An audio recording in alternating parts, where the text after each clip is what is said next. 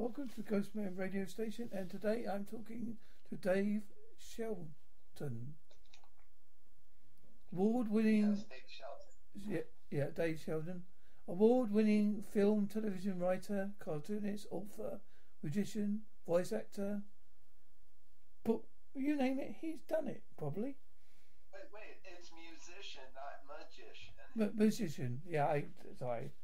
Wait, it could be a magic, it could be magic music.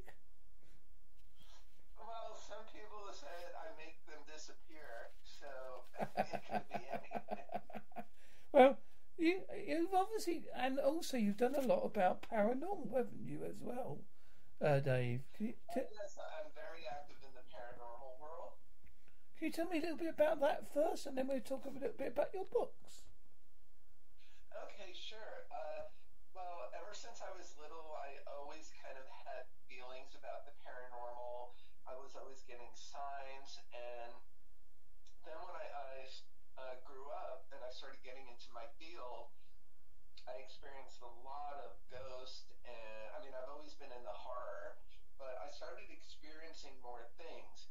And one time I was doing, it, it kind of culminated when I was doing a signing down at San Diego Comic Con in San Diego, California, and a psychic came up to me out of nowhere and he said, I just got to tell you, I just got a message from someone that you know. And I said, Who? It says, It's your guardian angel. And I said, Who's my guardian angel? And, and he said, It was your maternal grandmother. Oh, wow. And I said, Oh my gosh, I, I kind of felt something. I didn't know it was her. I thought maybe it was my mother.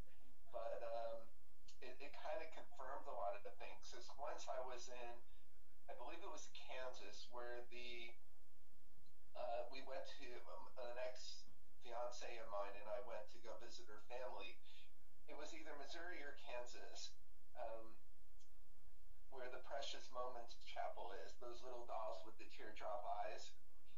And it was the middle of winter, and I was in a rent a car, and we were on our way to their museum, and we slid down this long road between the lake that ran from the main part of the compound to uh, like the island.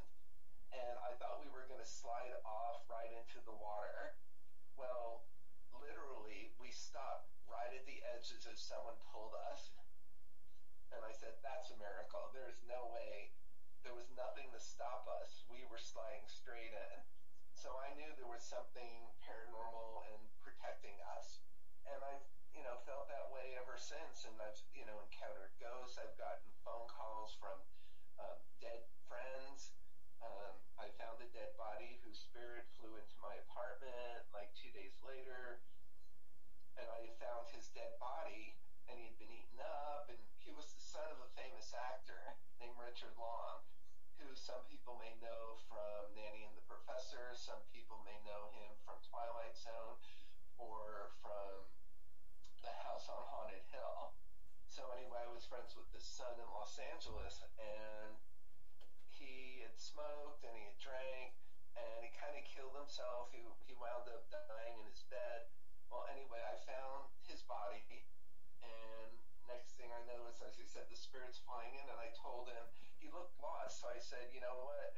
I I think you can go now. I think you're at rest, you know. And then I think about ten seconds later, he disappeared. I never saw him again. So there's been lots of encounters. I've done a lot of stuff at cemeteries. I've done Halloween events. One time I was, because I had moved from LA to West Virginia after 30 years being there, because I kind of got sick of what, it, what was going on in LA.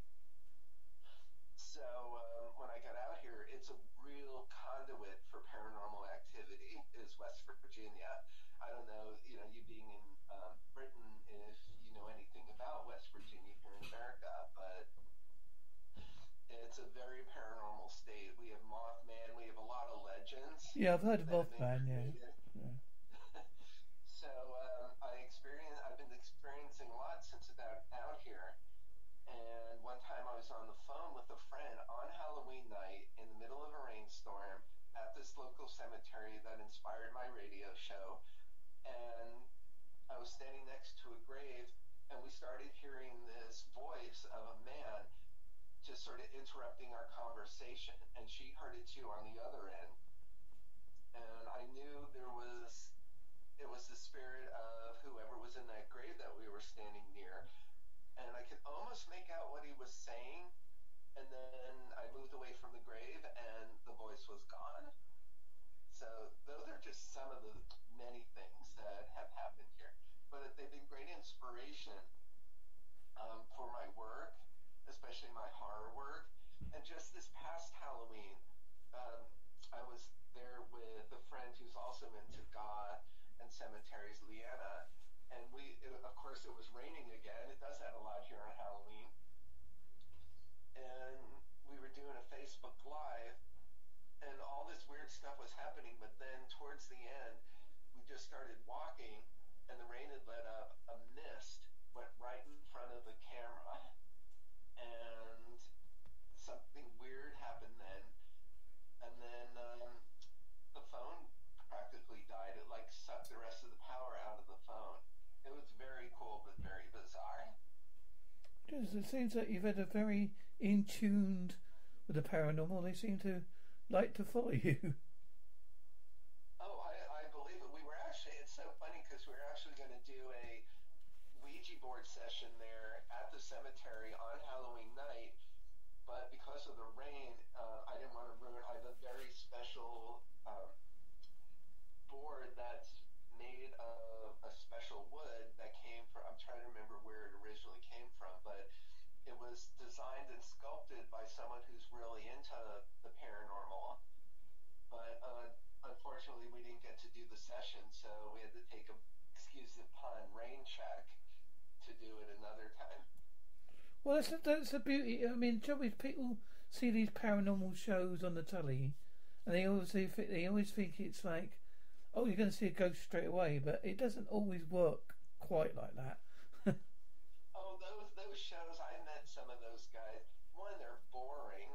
You know, it's like, and two, you wait a half an hour for them to hear an EVP that goes shh, and suddenly you think they're saying like, get up. You know, it's like, please, it, you know, and then they always have someone who gets a cold flash or something, or did you see that? And then the camera goes there. What what I find really sort of ludicrous about those shows is they're going into these spaces where the cameraman who's facing them is already in there. Like you're in a basement, you're going down the stairs of the basement, but there's a guy already there with the camera. Or they're going into a hole and there's already like a cameraman there. And they're not experiencing anything. And when they do, it's only because they trip over themselves because they're not watching where they go because they're carrying a freaking camera. so I, I find those shows very unconvincing. I, I do love it when they get celebrities come on. I loved when Meatloaf went on one of those ghost shows and he was like an excited little kid. To me, that was more fun than the ghost show people.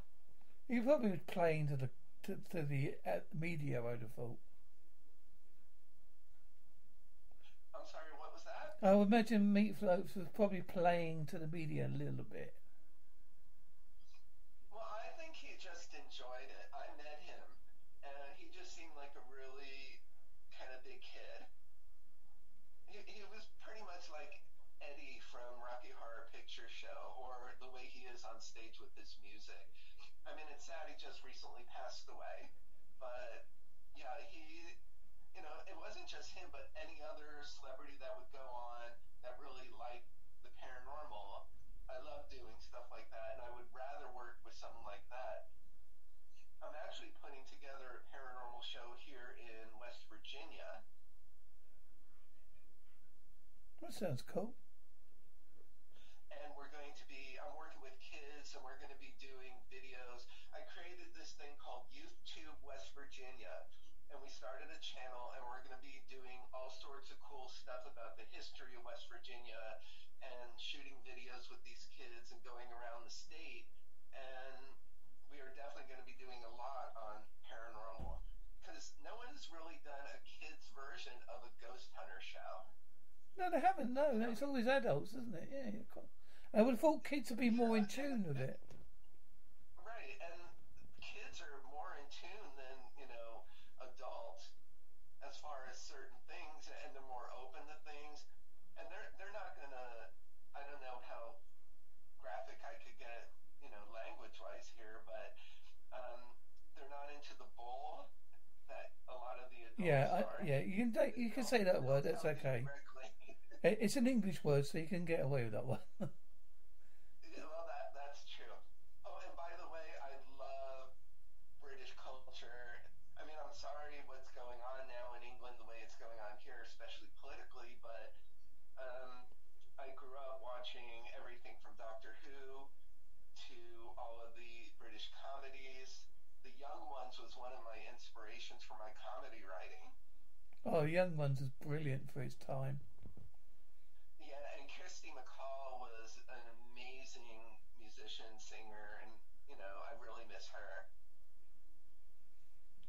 I, I like. I know Charlotte. I know Charlotte Church pretty well. Oh yeah. Yeah, she was awesome. I met her when she came here to the states. I like the fact you do a lot of amin- your own animation for your comics and things like that. So it's quite a Yeah, skill. I, I worked in I worked in animation. Um, I, I consider myself more of a cartoonist uh, because the animated stuff that I worked on, like at Disney or Klasky Csupo or Warner Brothers, was more in the design, penciling, um, the merchandising side of the animation. Like I used to draw Tweety and Sylvester for Warner Consumer Products, where they would, you know, put it out on T-shirts or designs for figurines, things like that. Uh, but I did. I studied animation at the New School in New York City, which is the home of the Actor Studio. And um, yeah, I mean, I love animation, but for me, it was more of the character design part of it. I did work on a TV version of 101 Dalmatians for um, Disney, and I was doing pencils and cleanup, so that is part of the animation. But I prefer the creation of things. You know, that's why I do mostly my own stuff now, whether it's my writing or my um, cartooning, my books, my radio shows. Uh, one of the things that was inspired by my paranormal of is a show called Cemetery Go-Go, which is now syndicated around America. It's a strange title that is. I like the title. It's a very strange title. great? well, there, there was a an old radio host named Dr. Demento. You might be old enough to remember him. And he was an American, and he ran all these syndicated shows of weird kind of novelty songs. You know, he'd play Weird Al, or he'd all play Barnes and Barnes, and even old British songs. And his voice was so cool. He's kind of like, "Hi, this is Dr. Demento, and you're listening to the Dr. Demento Show on this station." And I love that. So I was also inspired by an old TV show and film actor named William Bendix, and he had a show called Life of uh, Life of Riley, which started as a radio show, then went to television. And one of his characters was the local mortician and gravedigger, and he had this weird sort of like low voice, and would tell these bad jokes. Uh, like William Bendix would say something like, "Oh, um, you know, I'm having a really bad day," and his his nickname was Digger, so he'd go, "I dig where you're coming from, but I dig everything, literally," you know. so I said, "Oh, that is like the perfect voice." So I made a variation of that, created the character called the Groovy Grave Creeper. And so I kind of combined that with the elements of the cemetery and Dr. Demento and Cemetery Go-Go just kind of hit. So I wrote the theme song as a musician, not a magician, and I um, laid down the, the song here in my home studio, and now it's become like kind of a really popular little jingle oh. opening song to the show. That's cool. I like that. It's nice when you've done that. You've you've gone out your way. It's been all in your head. You've created it. You've put all your love in it, and then you see it grow, and you think, "Oh, I did that."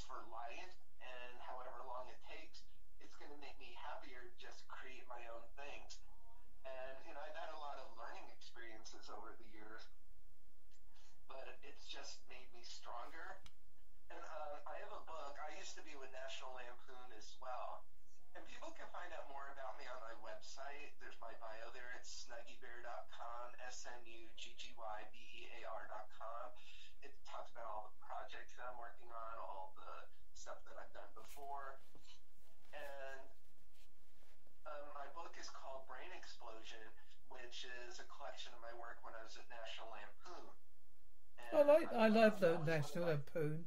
I used to love the comics. Uh, it's brilliant, they were.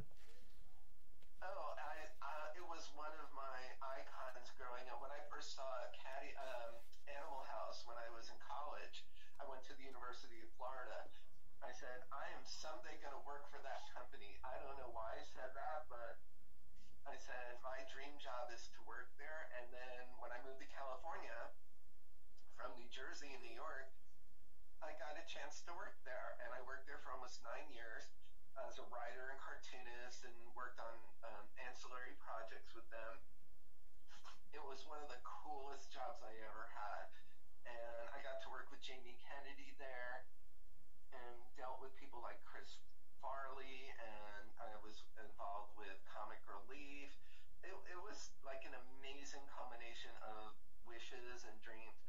But, and I'm very politically incorrect, as a lot of my friends could tell you, or you could tell from my work.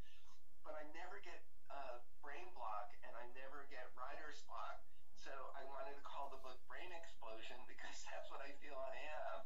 It's just one big exploding brain where I can think of things 24 hours a day and write them down. So sometimes I like look at my collection of words go, oh my gosh, I've got a million things to draw from. I like the was it Professor Creepy Scream Party? Is that correct?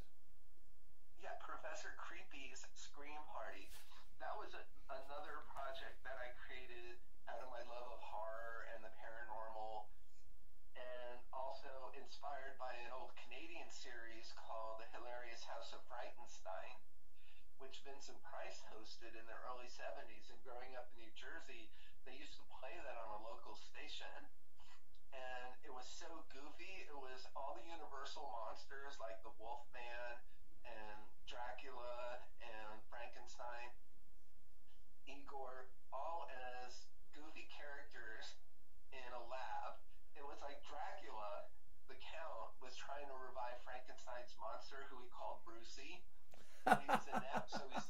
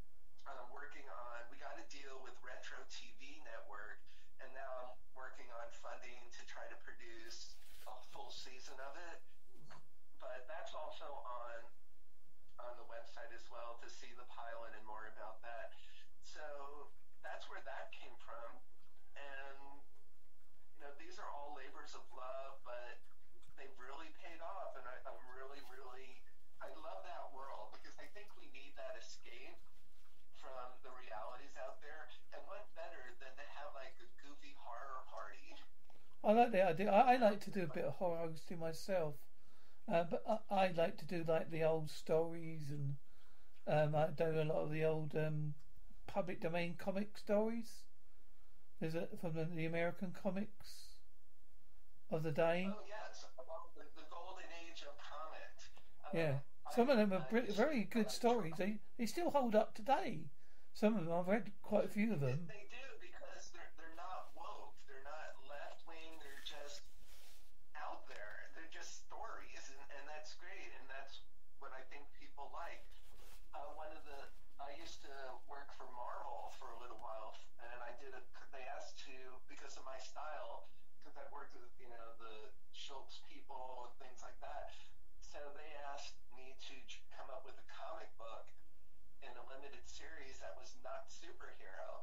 So I said, okay. So it was when Robin Leach, who's another Brit, when he was doing Lifestyles of the Rich and Famous, mm. and it was also the same year as Son of Sam and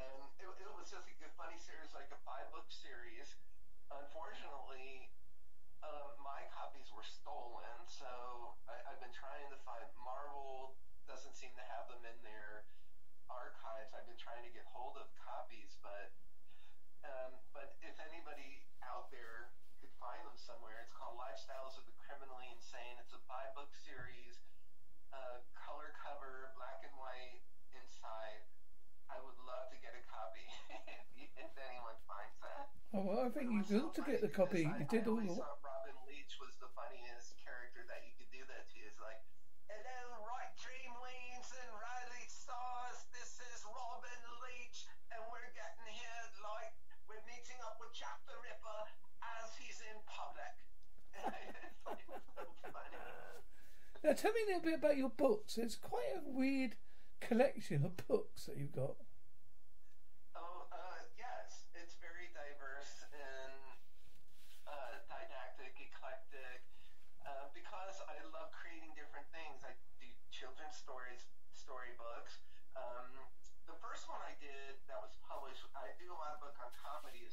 involved in a book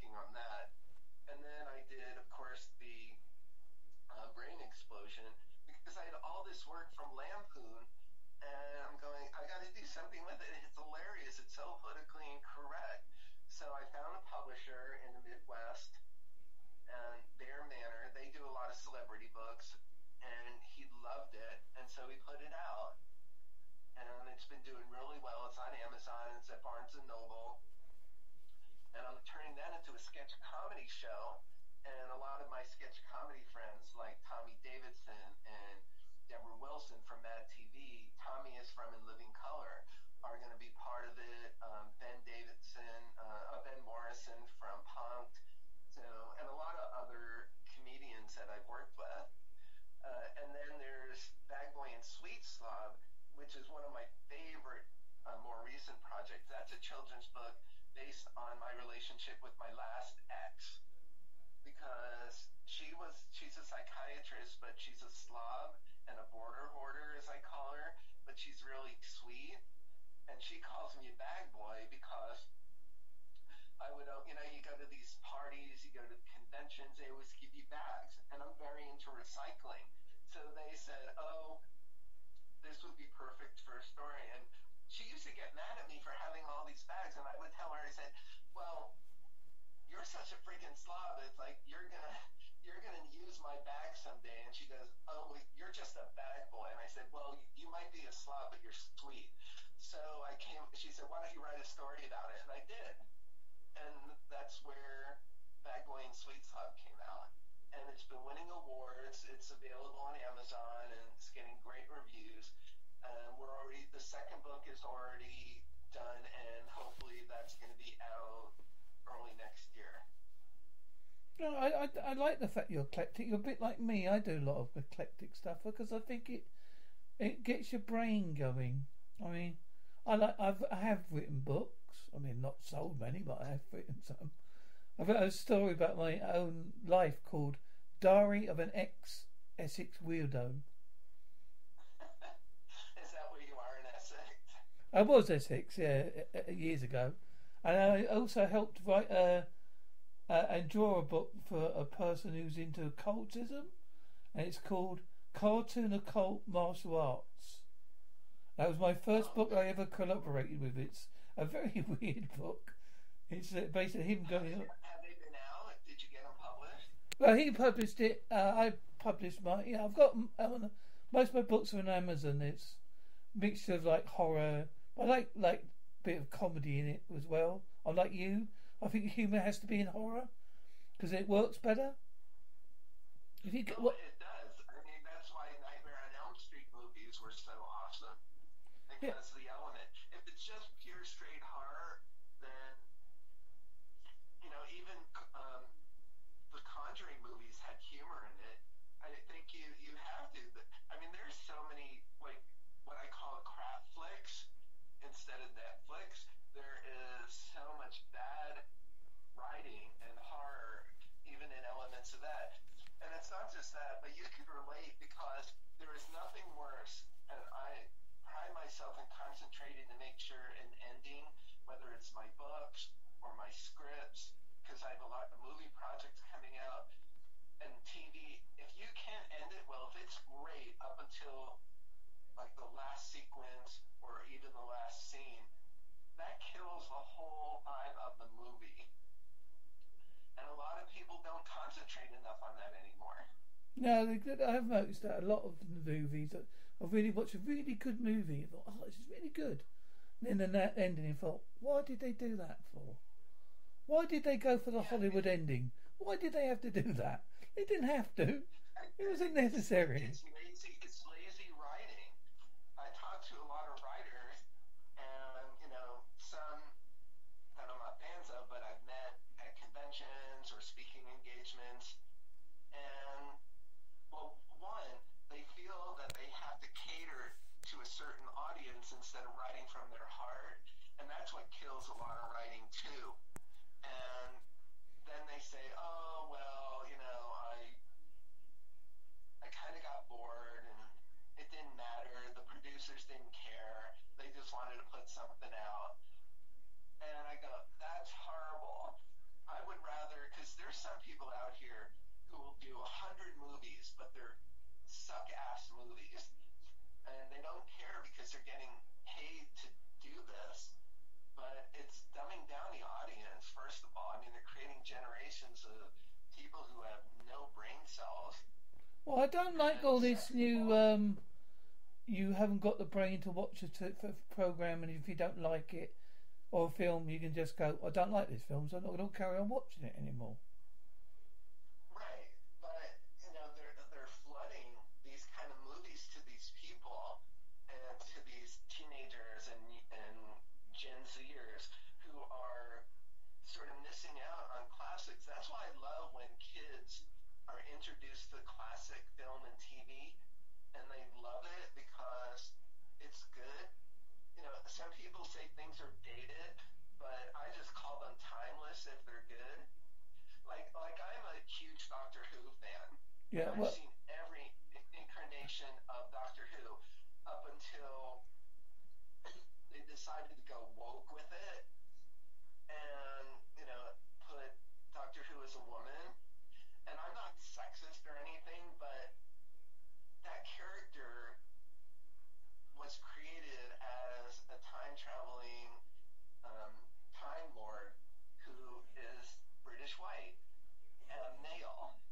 And by turning into a woman, it's just, and it, they even did that in some of the storylines where they were trying to say, oh, you know, we have to open up our minds about this.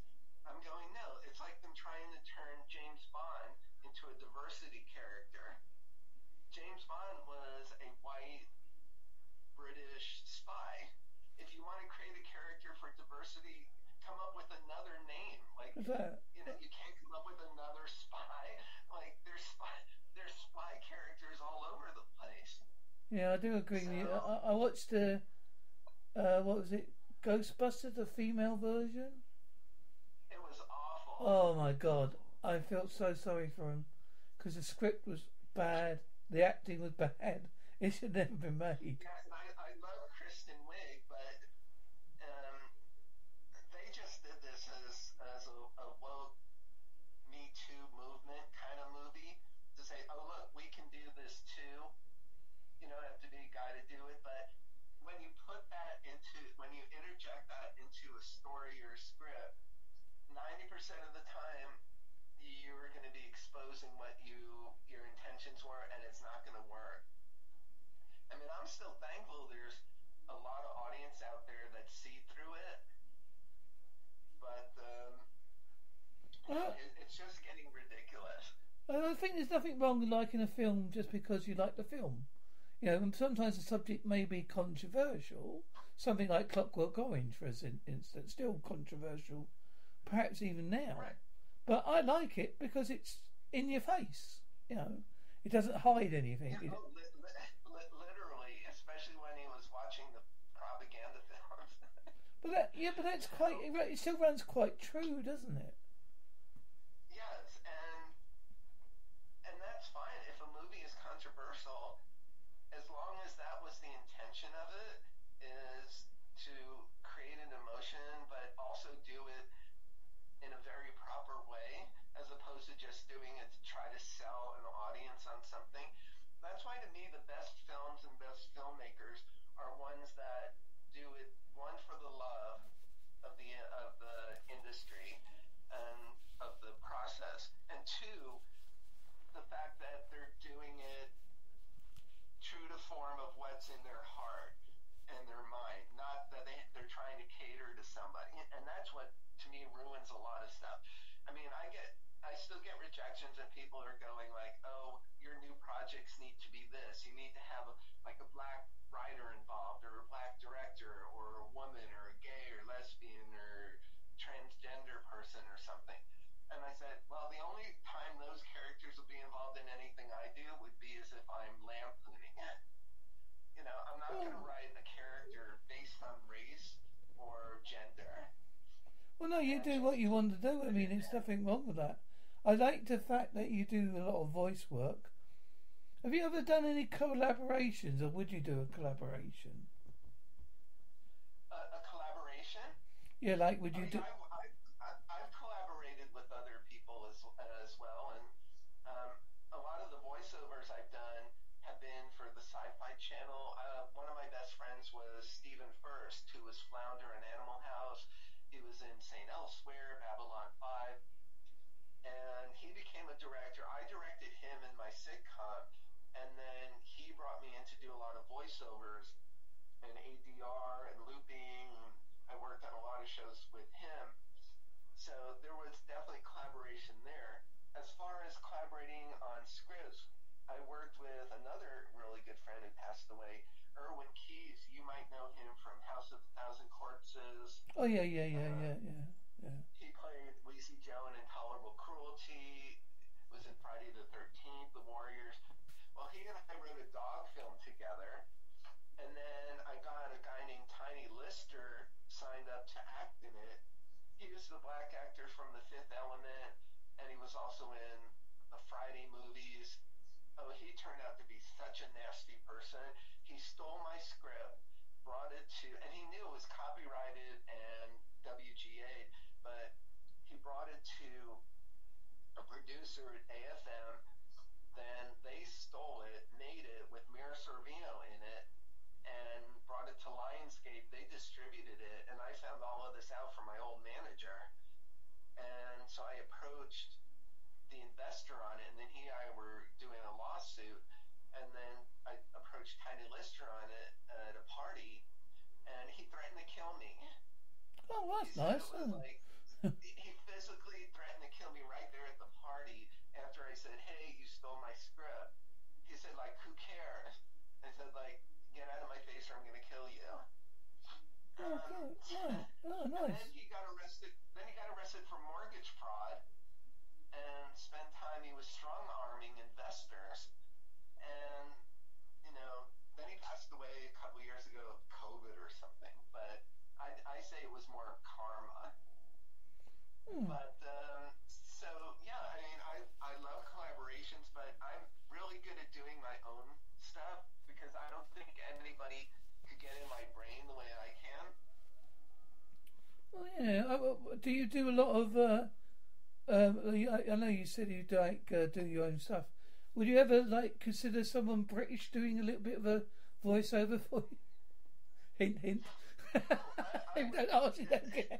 Uh, oh, uh, are, are you hinting at something there? Yes, just a bit, you know. Oh, you, you want it, you want it back? You want to get that again? Yeah, yes, please. I don't don't know many British people that talk like that. They normally talk like a bit more like I do. But And now only Helen Moran when she's having sex. uh, but uh, she's like, there we go, there we go. Uh, but uh, no, I mean a lot of. I'm, I'm also inspired by like French and Saunders. I love their writing, ABFAB things.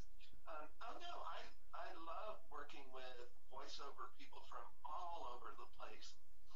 Um, so I mean, right now I don't have any projects yet where I need to go and record, but I will probably next year because some of the stuff that I've been working in the pipeline with my new agent is going to start coming out next year. well, if you do, I mean, anything to do, I don't care how small the pot is. If you need to go in, all right, mate, how you going? Yeah. Or, or the Jack the Ripper bit, I could go. Maybe, you know, Oh look, it's Jack over there. What's he doing with that album?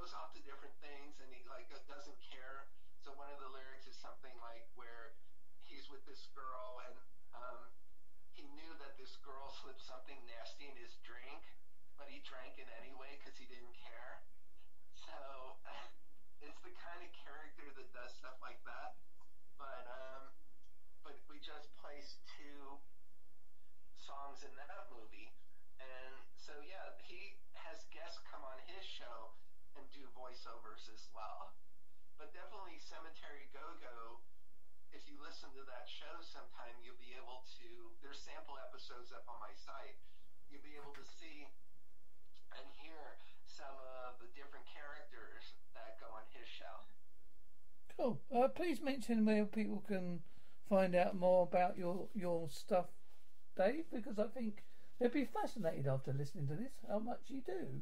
Well, I've been fascinated, and I've been Oh, listening oh, to I, it. appre- I appreciate it. It's snuggybear.com, S N U G G Y B E A R.com.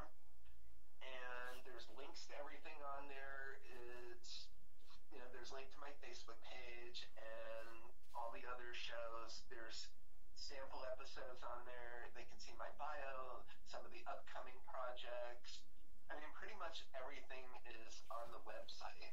And don't forget, people, he's not a musician. He's a, mag- a magician. He's a musician. I will get that right one day. But hey, Dave didn't mind because he, he he's that kind of guy. That's right. Hopefully, you know, I haven't made anyone totally disappear from my live shows, so that's good. I, I think I've had a couple of people walk out because they're insulted. Like when I do stand up, I'm really in people's face. So, Yeah, but if, if they know, I think if people went to see your show, I would have think they would know you're that kind of comedian before they even went there. So I, ho- I hope so, but sometimes when you're put on a bill with other types of comedians, then they might be more into that. One thing that's said about modern stand up is everything is just about race and TNA, and it's not really about comedy. It's just seeing how nasty you can get. I like the old. Um, do you do, do you know Billy Connolly? You heard of, Personally, well, his comedy. He he's observational kind of. I know who he is. I Yeah. know who he is for sure. Yeah, I like the observational kind of comedy. You know, like I went in the lift and there was a there was a smell in the lift. I wondered if it was. Mine is to do comedy that, well, one, do comedy that's personal, you know, about your life growing up is always funny, especially if you had a weird life like I have, and also observational because there's so much to make fun of out there. You don't have to go on stage and the first thing you said is like, I, oh, I have this big-breasted transsexual or something. I go like, oh, good for you. It's like, but Yeah, really, uh, mine would be something like things are so bad in England, even the rain doesn't want to go land on on us. It wants to run away.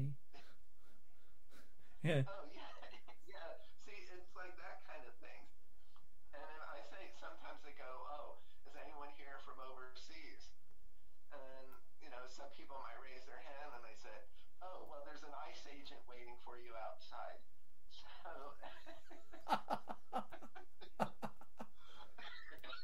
And, and some people like that. So yeah, it's um, and I don't care what religion or race or anything that a person is.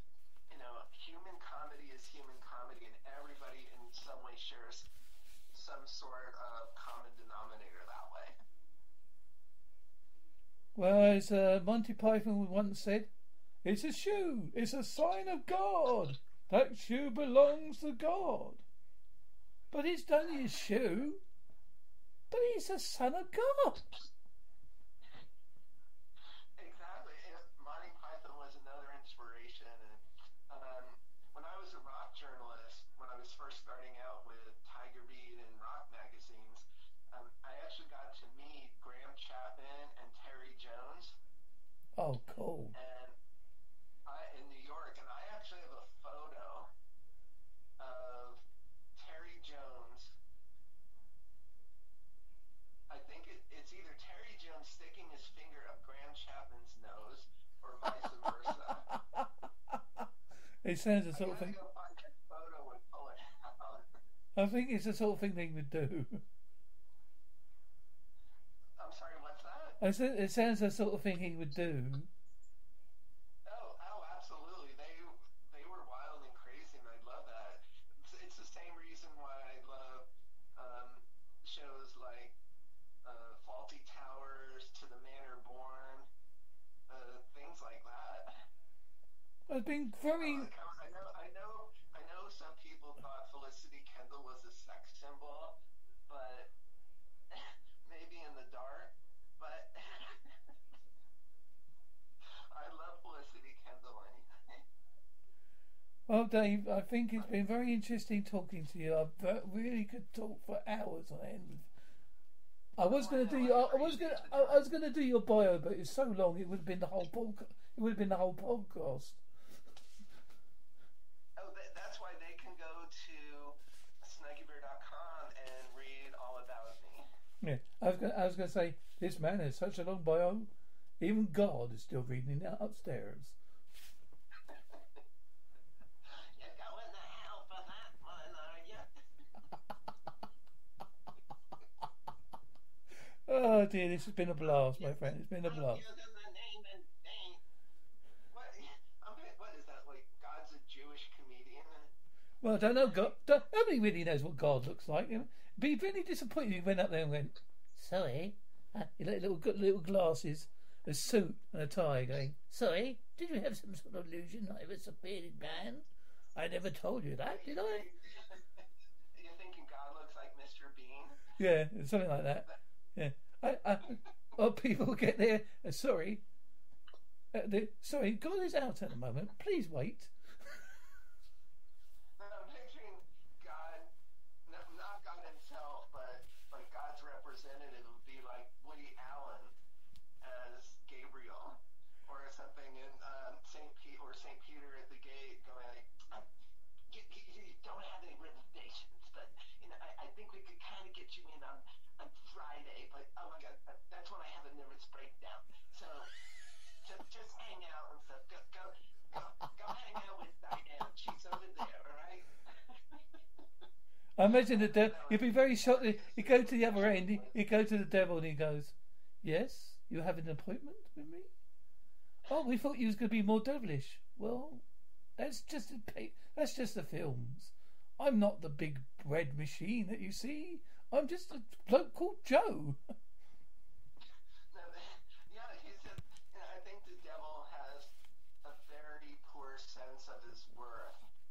I think, which is why he has to act out. I think if you put the devil with the psychiatrist, a lot of a lot of that could be dealt with. That would make I think that would be a funny sketch as the devil in therapy. yeah, yeah, a bit like um. Oh, what's the program called? Oh, it's on the telly.